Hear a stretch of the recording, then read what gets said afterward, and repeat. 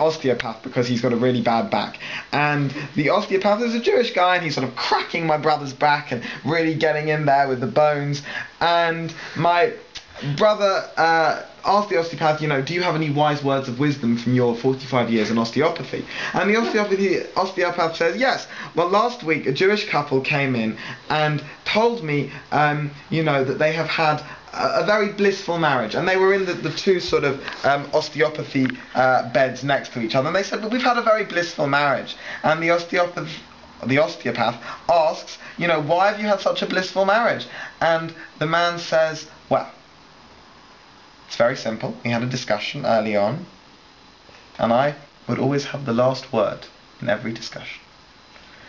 And then the osteopath goes, okay, so, you know, this seems quite chauvinistic. You, you have the last word. And the man goes, yes, the last word is, yes, dear. Wait, is that actually true? This is a true story, That's a true, funny. true couple.